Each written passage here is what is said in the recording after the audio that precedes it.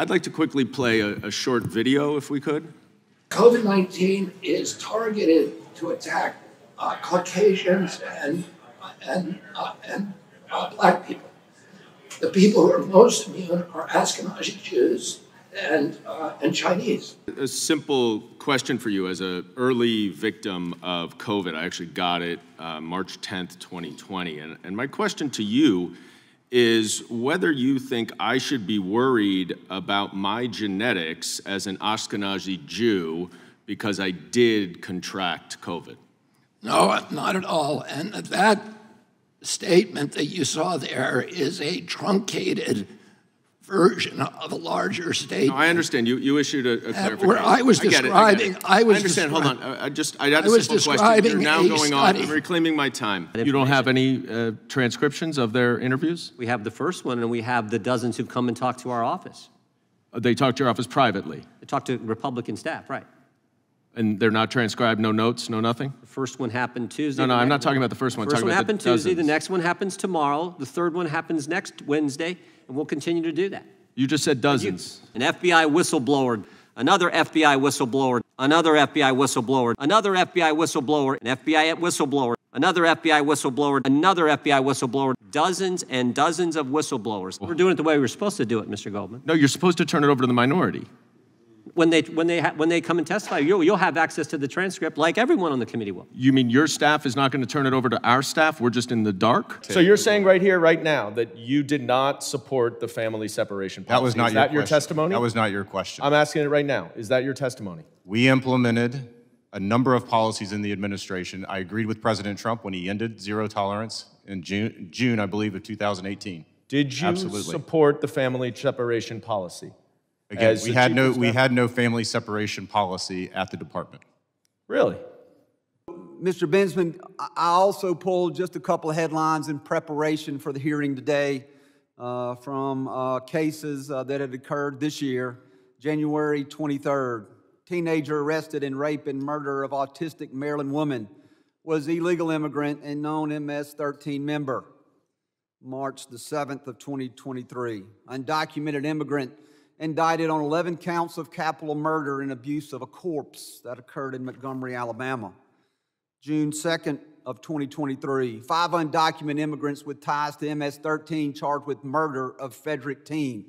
I appreciate my colleague from Mississippi pointing out uh, four incidents, uh, the four articles that he cited of really terrible crimes uh, that happened to be committed by people who were not here lawfully.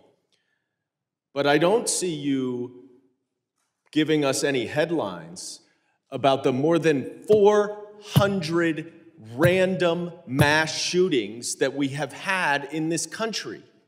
And why are we talking about isolated incidents that you have to point out from six months ago when we have two mass shootings every day in this country? Joe Biden is the definition of dark money. How much money did his family get paid off and how are his bills paid? Joe Biden got bribed and it was to the tune of millions and millions of dollars, and the left wants to normalize of bribery. Like, I just cannot get over the fact that we're going to normalize this and we're calling Joe Biden's bribery, quote, a specific topic. No, it's bribery. It's money laundering. It's prostitution rings. And I'm not a conspiracy theorist for putting these theories out there. I want to respond to uh, my friend and colleague from South Carolina and some of her allegations and statements that she made uh, about this so called impeachment inquiry.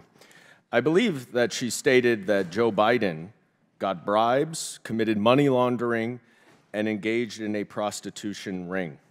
She says there are texts, emails, and phone calls.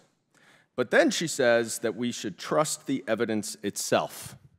And with that, I agree, because the evidence itself shows absolutely no connection between Joe Biden and any of those allegations. So we are now entering into what is so called an impeachment inquiry, ostensibly because the Republicans say they need more information and that somehow by the Speaker of the House unilaterally declaring an investigation, an impeachment inquiry, that changes this committee's authority. It does not. You said in 2019 that impeachment requires a clear criminal act. Is that right? No, in fact, in the Trump impeachment, I said repeatedly, you can, you can impeach someone for non-criminal conduct. What I said then, I'm saying now, which is, I strongly encourage you to look at criminal Yeah. acts. All right. Well, that testimony is there. But But I- let's can I just, no, you can't because I have 10 seconds left. New Yorkers from Queens and Nassau counties deserve better than George Santos, a total fraud and serial liar representing them in Congress. Mr. Santos's behavior has shown a consistent disregard for the principles of bipartisanship, servant leadership, good governance, and civil discourse. He has shown no interest in being a serious member of this chamber or to do the people's work. Let's raise the bar here in the House of Representatives. Let's hold one of our own accountable. Let's expel George Santos. I agree with everything that my Republican colleagues have said here today. But everything they have said here today was also true in May when they voted to protect George Santos. Has there been anything that has changed? Is it because we are learning revelations of connections between Mr. Santos and our other Republican colleagues from New York serving in this body? Maybe. But there is certainly one thing we know that is motivating this change of heart the 2024 election. Over the past couple of weeks, since October 7th, I have met with numerous families of hostages in Gaza who are searching for any information about their loved ones held in captivity.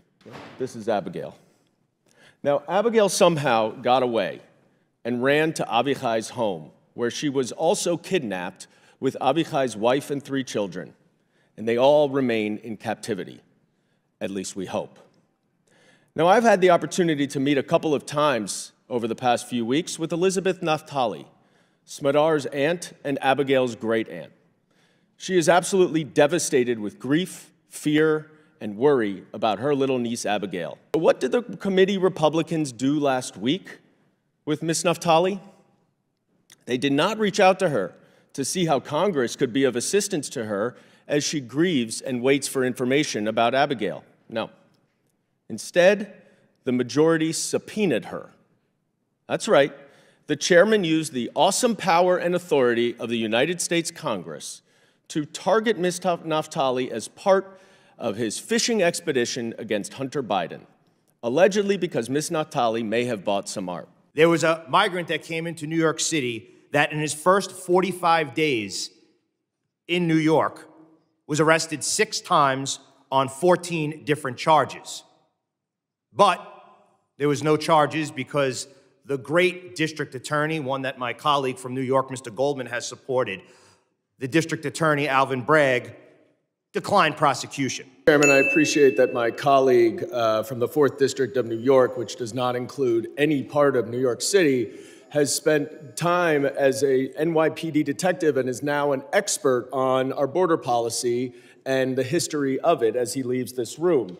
Do you think it would be problematic if X leaves up terrorist violence and propaganda in violation of the terms of service? terrorist violence or terrorist prop- propaganda? What- If it violates their terms of service, is it, is it problematic? Well, it depends on what the content is, but um, you know they're a private company; they can do what they want with the content. Aha! They're a private company and they can do what they want with the content.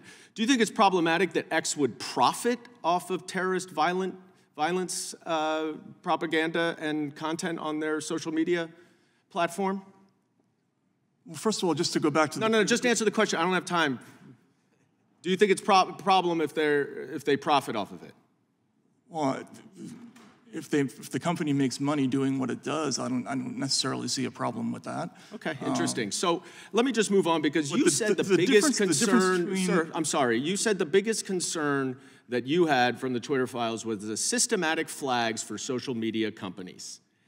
Now, the Stanford EIP that you're talking about, I'm sure you are aware, uh, has documented that the social media platforms to whom they flagged potentially problematic tweets took action on only 35% of them, and only 13% of them were removed. Mr. Shellenberger, you said the biggest problem, and, and let me just ask you, Mr. Taibbi, real briefly, you would agree that these flags, that the systematic flags that you saw were flags for a violation of the terms of service of the social media company, is that right? Sometimes, but sometimes in the case of uh, the instances like Congressman Massey, they were actually true information. I under, well, that, that may be the case, but the flag was for a violation of the terms of service. It's for their interpretation of a, a violation. And then the social media company has to determine whether or not it was it is actually a violation of their terms of service. And in 87% of those flags, they were not removed. Last session, the Democrats made a mockery of impeachment, and we cannot allow them to become our teachers. Shrill voices should be kept far from this inquiry lest they undermine its legitimacy and credibility. Congress has an obligation to approach serious accusations seriously. Democrats would have us simply turn a blind eye to mounting evidence of a family influence peddling scheme that implicates the president. This we cannot do. We owe it to the country to get to the bottom of these allegations, and that requires the House to objectively invoke its full investigatory powers, respect the due process rights of all involved, and lay all of the facts uh, before the American people. The Republicans have already spent 12 months on this exact investigation. They have obtained more than 100,000 documents, pages of documents, and dozens and dozens of hours of witness testimony. But there is not simply not a shred of evidence proving any wrongdoing by President Biden related to his son or otherwise. Uh, I want to focus on, uh, go back to what my colleague, Mr. Swalwell, was focusing on, uh, which is um, my, my, my friend Mr. Bishop's quote that there is an intentional sabotage of the rule of law. Now, we've heard a couple times today uh, that the GAO and a federal court found that Mr. Wolf was acting unlawfully. To my understanding, that would be a violation of the rule of law. But let's focus a little bit on some policies uh, and some efforts. Mr. Jimenez mentioned uh, that there are children who cannot be found, which brings up, of course, the Trump administration uh, family separation policy.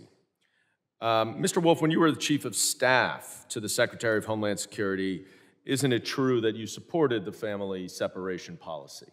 I was at the department uh, from 2017 to, to the end of the administration. Well, did you not, uh, according to an inspector general's report, uh, urge the counselor to the attorney general uh, to implement the family separation policy to increase prosecution of family unit parents and separate family units? No, I don't believe. That's okay, well, I, I want to introduce into the record this Inspector General's report on family separation, which includes an email by you to Gene Hamilton, the counselor to the Attorney General. So that email had a number of uh, hold on, hold on. consideration. There was no direction. There was no Right. direct. So you're saying right here, right now, that you did not support the family separation policy? that was not Is your that your testimony? That was not your question. I'm asking it right now. Is that your testimony? We implemented a number of policies in the administration. I agreed with President Trump when he ended zero tolerance in June, June I believe, of 2018. Did you Absolutely. support the family separation policy? Again, we had no we had no family separation policy at the department. Really? The department did not Now, I'm happy to go through this. All right, the Attorney let's- General let's talk announced about a this. zero tolerance policy that the Let's department talk about then this. Let's, implemented. one sec, one sec. Uh, let's talk about this because the facts are that more than 5,000 children uh, were forcibly separated from their parents at the border. And the reason is because the Department of Justice, for the first time, used Title 8, United States Code, Section 1325, which makes it a misdemeanor offense to charge anyone crossing without uh, lawful, with, without papers, et cetera. That had never been used before because the only point of that is to put parents who are charged with that in jail where they cannot actually uh, be, be with their families. Now, a federal court in 2018 ended the family separation policy, which this court determined that there was, because the government's policy, quote, shocks the conscience, unquote, and violates the constitutional right to family integrity. There are still children who were separated at the border from their parents who have not been found because this zero tolerance policy, which ultimately ended up separating parents and children, did not create any mechanism to account for that separation in order to track the children. Now, that clearly, as a judge said, was a violation of the rule of law, an intentional sabotage of the rule of law. Let me go quickly to another one. According to a whistleblower complaint by the former head of the department's intelligence branch, Mr. Wolf ordered him to withhold an intelligence notification on Russian activities because it, quote, made the president look bad. The Inspector General, the Office of Inspector General investigated it and found that the department did not adequately follow its internal processes and uh, policy standards when editing and disseminating an intelligence product regarding Russian interference with the 2020 presidential election. And the acting secretary, Mr. Wolf, participated in that review process. We now recognize Mr. Goldman uh, for five minutes of questioning. Thank you, Mr. Chairman. Uh, and I'm very happy to follow up on that uh, quite remarkable statement uh, from Mr. Bensman. Let me ask you something, Mr. Bensman. Do you think that the more than 400 mass shootings in this country this year could also be avoided if we had universal background checks, if we did not sell weapons of war to civilians, if we had safe storage laws, if we had common sense gun legislation? Is it your view that every crime that's committed by an American citizen is not avoidable and therefore we should just accept it? Why is it only the crime that happens to be committed by people who are not here, somehow that you care so much about, and yet all of the devastating crime that is committed by people who are here doesn't matter? Because we don't ever talk about gun violence in this committee.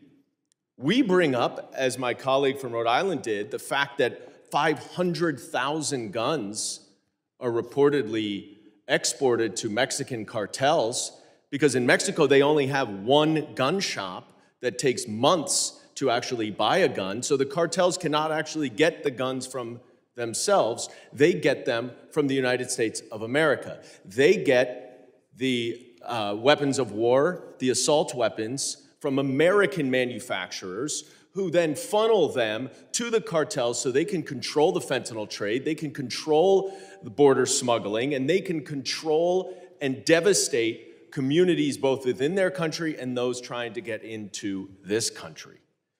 So, if we're really going to talk about border security and we're going to talk about the crime that those who are coming across, Let's talk about the crime. The notion that comparisons of crimes committed by those who are here unlawfully and those who are here lawfully is bogus because it's all avoidable is the biggest bunk I've ever heard. Crime is crime. We got to be preventing crime of all sorts.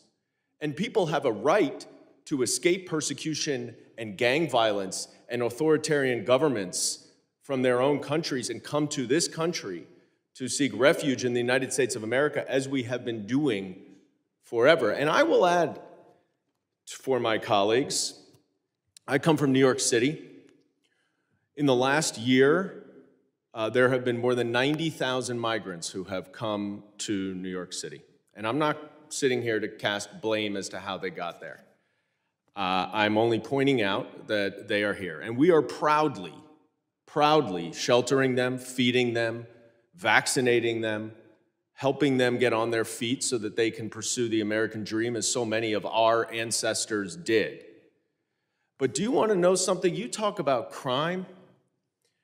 There has not been a single violent arrest in New York City from any of those more than 90,000 people. Not one. So you find me any other group of 90,000 people and no violent arrests, I challenge you. You can't do it. Because what they want is to come here and work. And what Mr. Bier has been talking about is that those migrants who are coming here to work benefit our economy. And you know why they do? Because we have a workforce shortage. We have businesses who are desperate for labor and they can't get labor. These people, if they were giving the opportunity to work, would become part of our communities, would pay taxes, would boost the economy, would take jobs that Americans are not taking. All of that would help our economy. But instead, we are here focusing on red herrings and completely tangential issues that don't get to the core of the problem. I had a lot of questions to ask, and obviously I have not, but I look forward to a second round um, because I get very frustrated when we're up here grandstanding and we're not actually working to address the real problems that we're facing. Mr. Chairman, thank you for your indulgence, and I yield back. This committee has been investigating these allegations for more than eight months. This committee of uh, House Republicans have obtained uh, more than 12,000 documents, pages of bank records, more than 2,000 suspicious activity reports, numerous hours of witness testimony, texts, emails. And the problem they have is not that they can't get the evidence. The problem they have is that the evidence does not support their allegations. And so, why are we going to spend the next few months uh, on a bogus and sham impeachment inquiry? Because Donald Trump wants them to. And Donald Trump has been calling them and urging them to do it because he was impeached twice. One of those impeachments of Donald Trump was because he tried to extort the president of Ukraine to investigate Hunter Biden. The president of Ukraine refused. Unfortunately, House Republicans don't have the spine that President Zelensky has, and they are now doing Donald Trump's bidding. Let me move on to the topic today, and I know that my colleagues would like to narrowly focus uh, this hearing on their sudden grave concerns about third party litigation funding. That's right, my Republican colleagues are having a hearing to criticize and restrict the free market from investing in litigation. Well, how could that possibly be that the party of free markets would want to restrict the free market? Well, I know why. Because big corporations and special interests don't like the fact that independent investors can support litigation that otherwise would not be able to be brought because of the expense. And I also find it ironic that Republicans are criticizing third party funding in legal proceedings when they themselves have engaged in the same kind of third party funding. And I'd like to ask unanimous consent to introduce, uh, for the record, an uh, article entitled FBI Whistleblowers Admit Taking Money from Ex Trump Official. It's no surprise that the Republicans are doing the bidding of the same special interests who have been spending massive amounts of money, of dark money, to control the Supreme Court. But the odd thing is that we're here talking about the ethical issues of third party litigation funding and not the ethical issues in the Supreme Court. In June, I led a letter of 18 former prosecutors and law enforcement officials urging the Chief Justice to abide by his own declaration that he would take care of these ethics concerns, and saying that if he were to do that appropriately and seriously, he would first have to establish an independent investigative body within the court that can provide transparency and accountability. And two, that he would have to establish a dedicated ethics council to provide advice to the justices on their ethical issues. Unfortunately, his response to that letter just simply thanked me for writing it. And that's not good enough. And so my time is up, but I would urge my colleagues on the other side of the aisle who ostensibly are concerned with ethics that they hold a hearing on the dramatic and absurd ethical lapses of Supreme Court justices and make sure that we implement a, the, uh, an ethics code on the Supreme Court, which, is the, which are the only nine justices in our entire federal judiciary who do not have to abide by our ethics code. And I yield back. I have a couple of quotes that I want to read to you, uh, and let me know if you know who said them.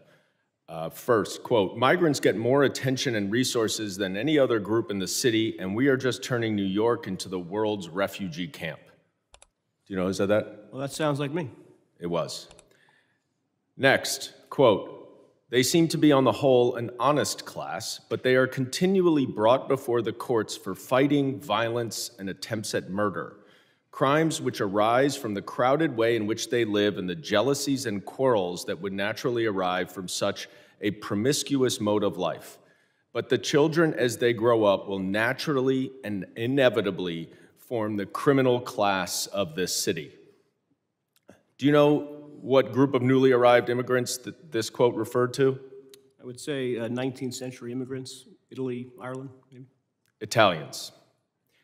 It's from an 1882 New York Times editorial about Italian immigrants coming to New York City, which were sadly reflective of a really disgusting common sentiment at the time. And you're a member of New York City Council's Italian caucus, right? Would you, right? Yes, sir. Would you agree with that assessment of Italians as forming the criminal class of New York City? No, sir. And you have been fear mongering on this issue, as have my colleagues on the other side of the aisle, about the quote criminals coming across the border. But you are aware, are you not, Mr. Borelli, that the uh, amount of crime from the migrants who have arrived in New York City is far lower than the average crime rate in the city, correct? I'm unaware, but, but I'll assume since you're saying it in public, uh, it's true. I have, I would just. I would just, I'm sorry, I don't want to uh, cut you off, but I have a bunch I want to get through. And, and I think, you know, one of the things that frustrates us on, on this side of the aisle in New York City about some of your rhetoric and I represent the district that includes the Statue of Liberty and Ellis Island. My grandmother escaped anti Semitism to come through Ellis Island, as so many of our uh, forefathers did. The Statue of Liberty states, quote, give me your tired, your poor, your huddled masses yearning to breathe free. And that is the New York way. New York City has always welcomed immigrants.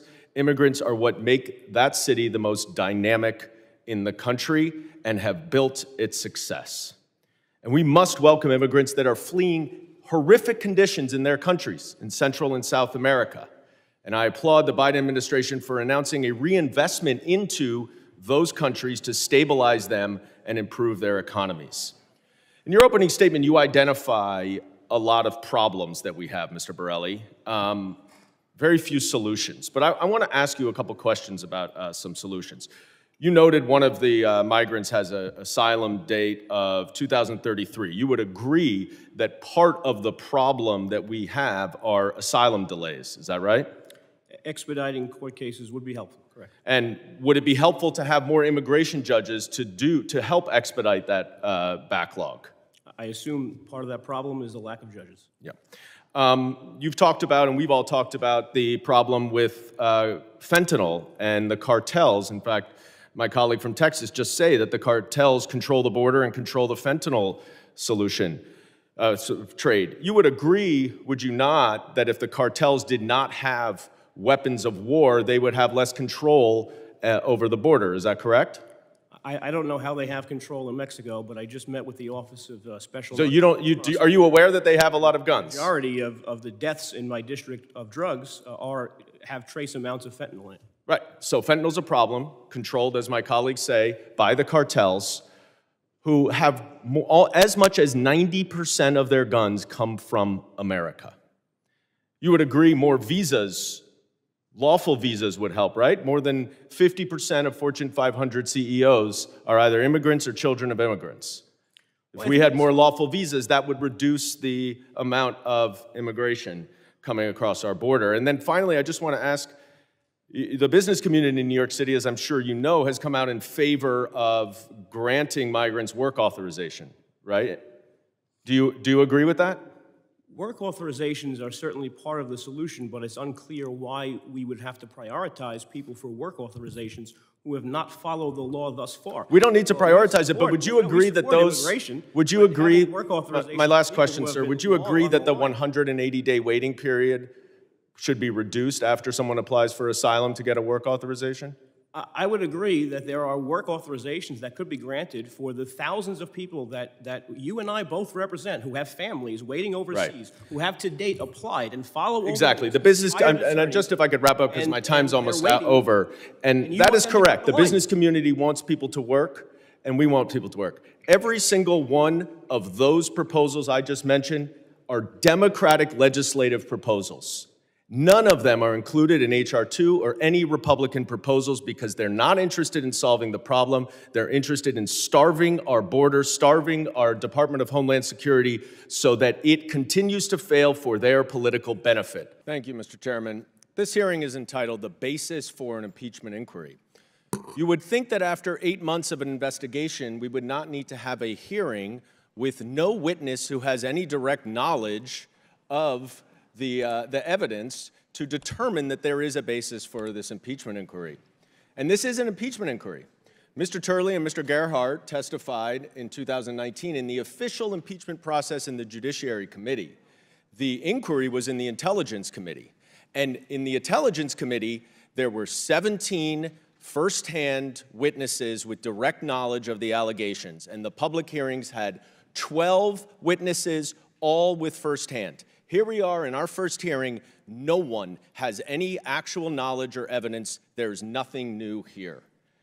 So why don't we have some of the fact witnesses here? You've brought them in. You've come, they've come in already. What about Devon Archer? Now, Mr. Donalds and the chairman now want to disavow Mr. Archer's testimony that Mr. Biggs entirely relies upon, but they don't want him to come sit here. Why?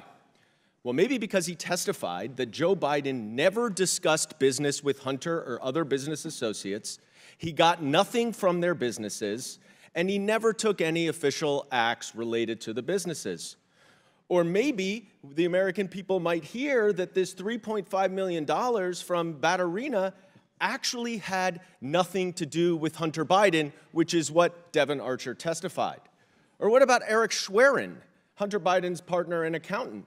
He also performed a number of administrative and bookkeeping tasks for then Vice President Biden and Hunter Biden. He saw Vice President, President Biden's bank accounts. And he told the committee that he was not aware of any involvement by President Biden in the financial conduct of his relatives' businesses, much less any transactions into or out of then Vice President's bank account related to business conducted by any family member. And the list goes on. We've already talked about Lev Parnas and Rudy Giuliani. The reason is you bring in the fact witnesses and your case goes down the drain. Now, even yesterday, in releasing 700 pages of documents, Chairman Smith admitted that he's not an expert in the timeline, which seems to encapsulate this investigation to a T.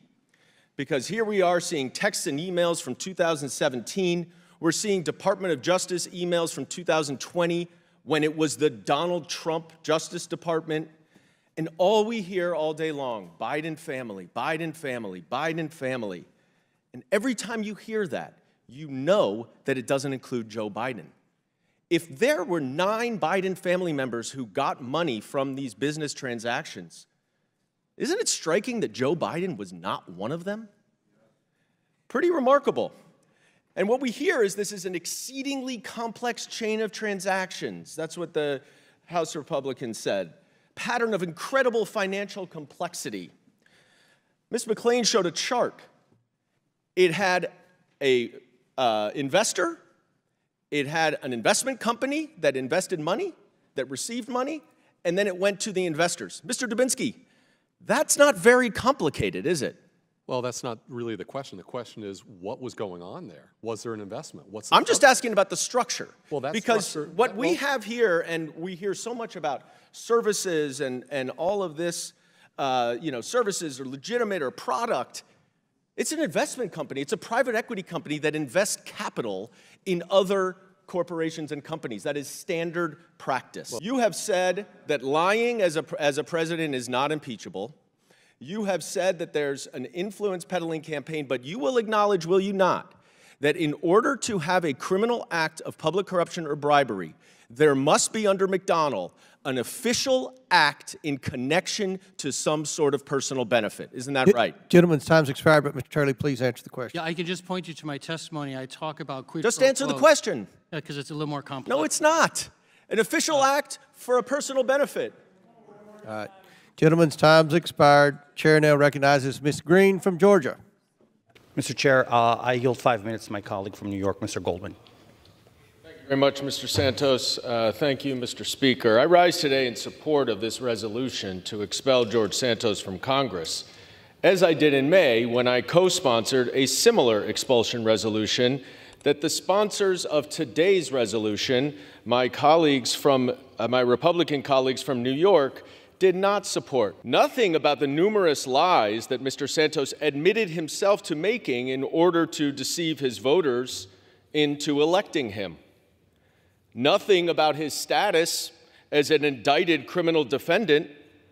Yes, there has been a superseding indictment with more allegations of criminal conduct, but he is still presumed innocent until proven guilty, as my New York friends relied upon in May when they voted to protect George Santos from expulsion. Nothing has changed from the Ethics Committee, even though one of my colleagues from New York said that the Ethics Committee would expedite its investigation and release a report 60 days from the date of that May vote. Well, we are now 175 days since then, and there is no ethics report that would prompt a change of heart. One thing that has changed is that Mr. Santos's campaign treasurer pled guilty to fraud and admitted under oath that she conspired with Mr. Santos to fabricate a non existent $500,000 loan to his campaign. But the resolution drafted by my friends from New York does not even mention that new fact. You see, I know that the people of New York care about integrity. They care that one of their Republican representatives is a liar and a fraud. They care about the fact that Mr. Santos has done nothing to serve his constituents, yet still provides a loyal and vital vote to the Republican Party. And George Santos hangs like an albatross around the necks of every single Republican from New York. They don't care anymore today about integrity or morality or the reputation of this institution than they did in May when they voted to protect Mr. Santos. They just care about their reelection in one year when they know that their support for George Santos is going to be a problem. Mr. Santos should be expelled from Congress today for the same reasons that he should have been expelled in May. He himself admitted him to numerous lies that he made during the campaign to deceive the voters. He is only walking these halls and voting on this floor because of those lies.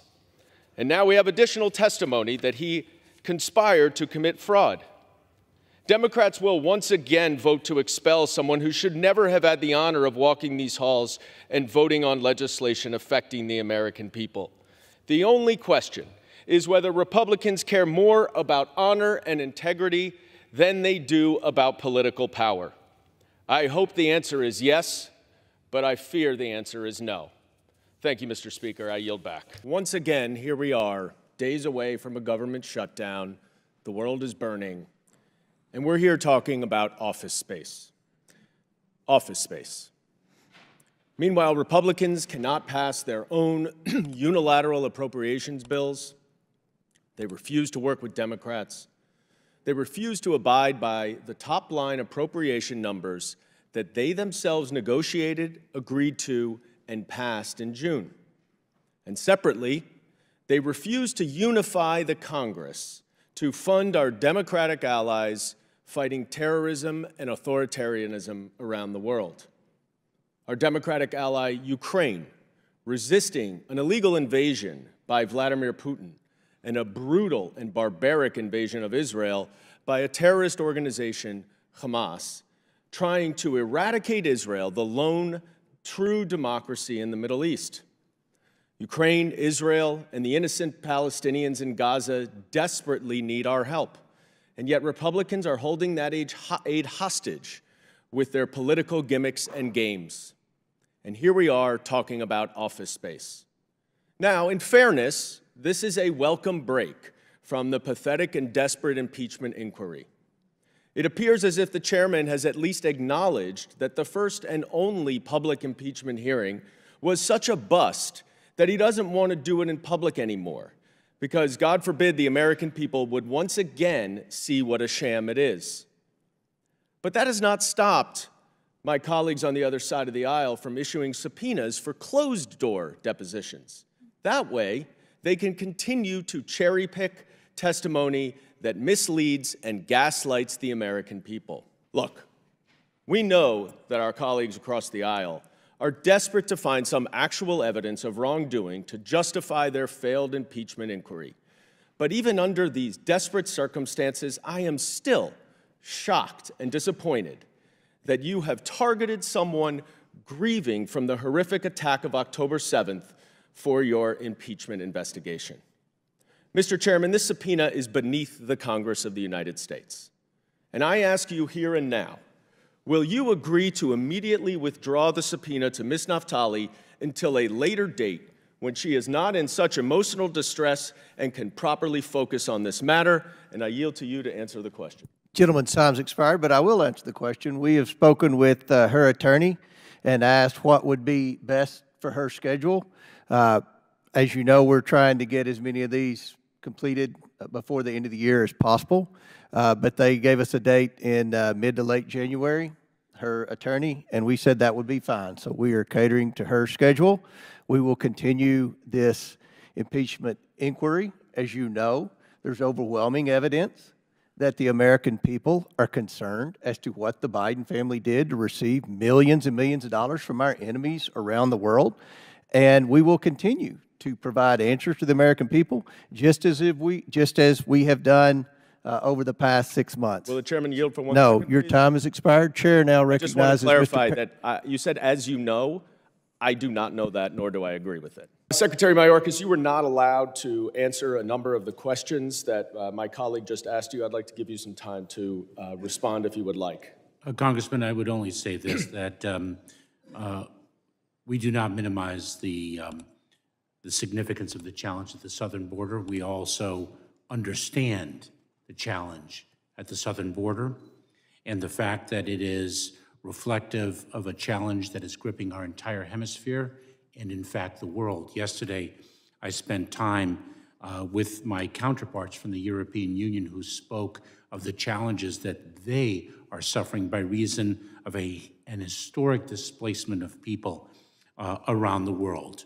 We work day and night, 24 hours a day, seven days a week to advance the security of our southwest border, to advance the security of the northern border, and to achieve our highest and most important mission, the safety and security of the American people. Um, I appreciate that, and I also appreciate very much that um, policy disputes are not impeachable offenses.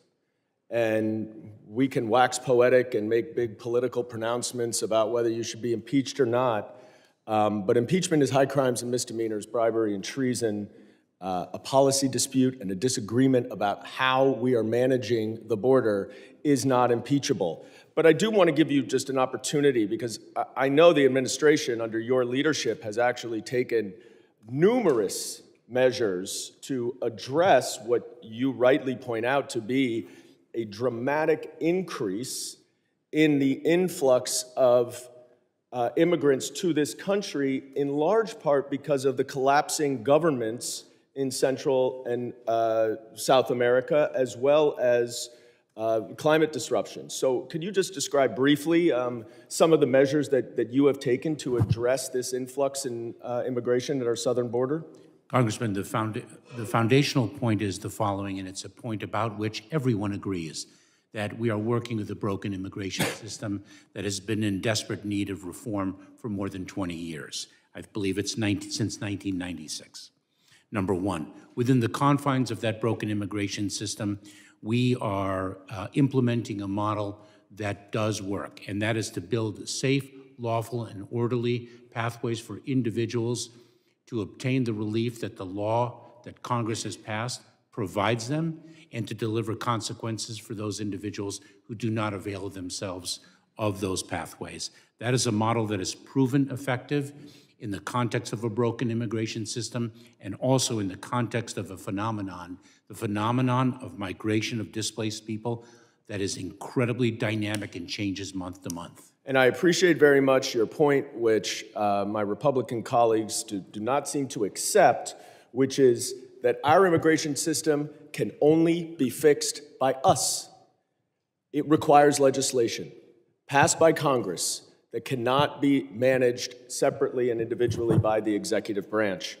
Director Wray, in my short time left, I, I want to focus on a testimony you gave a couple weeks ago, uh, noting the tremendous uptick in anti Semitic hate crimes. I believe you testified that even though Jews make up only 2.4% of the United States population, anti Semitic hate crimes account for around 60% of all religious based hate crimes.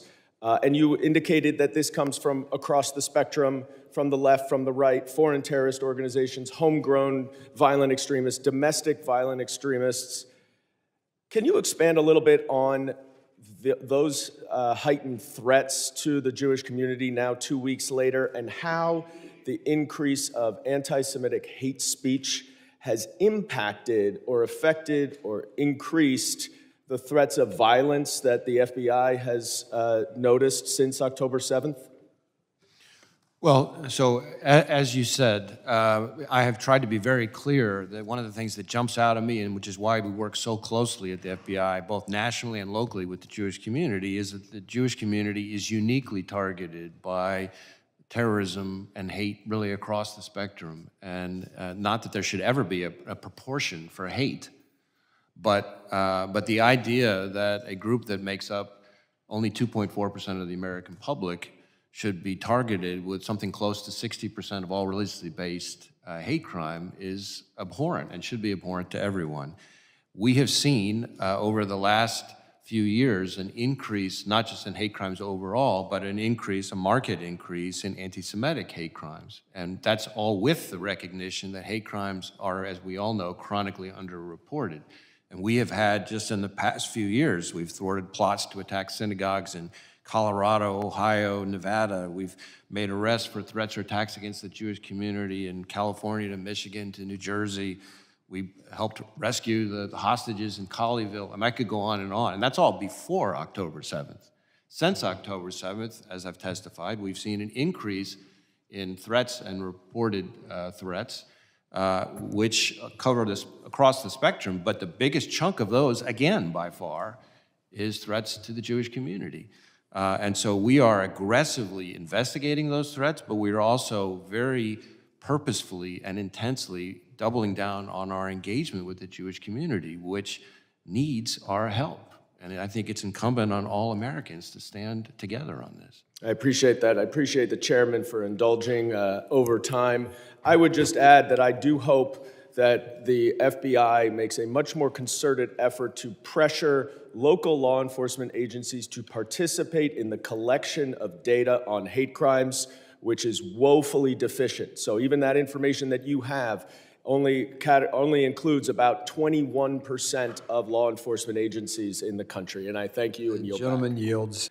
My colleagues and friends from North Carolina and Florida are asking why we are talking about Donald Trump. The answer is because this subcommittee is called the Subcommittee on the Weaponization of the Federal Government.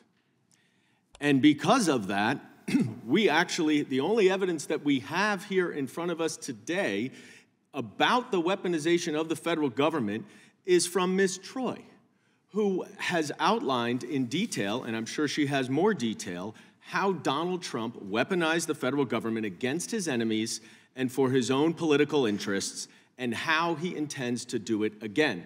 So, if we really want to talk about the weaponization of the federal government, we should talk about it, and that's Donald Trump. That's not this grand, crazy conspiracy of how the uh, administration has utilized the social media companies against whom the First Amendment does not apply in order to suppress speech. We, this is actually the second hearing, I guess our quarterly hearing now, on the, the Twitter files with the same uh, witnesses that we had. In the first hearing, um, I asked uh, Chairman Jordan uh, if he could identify any evidence of the government um, under the Biden administration actually censoring um, uh, anyone through the social media companies. He pointed out to me an email um, on January 22nd uh, from Clarke Humphrey to flag a tweet that was from Robert F. Kennedy Jr. as evidence.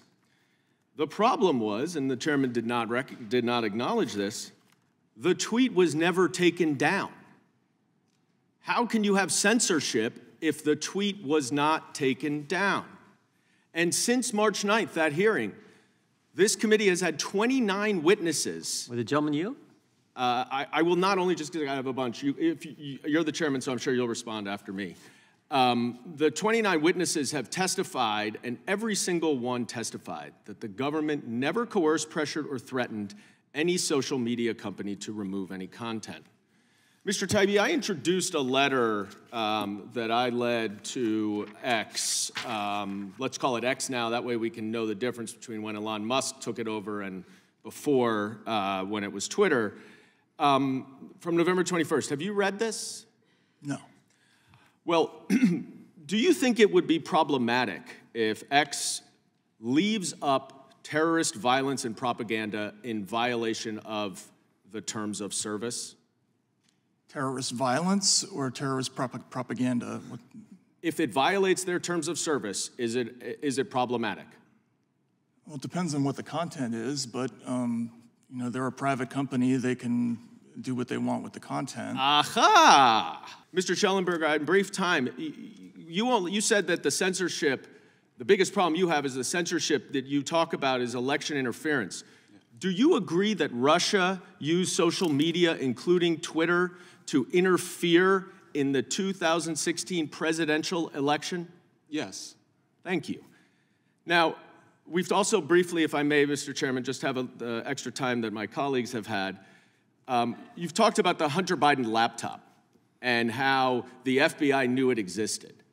You are aware, of course, that the uh, laptop, so to speak, was actually, that was published in the New York Post, was actually a hard drive that the New York Post admitted here was not authenticated as real. It was not the laptop the FBI had. You're aware of that, right? It was the same contents. How do you know?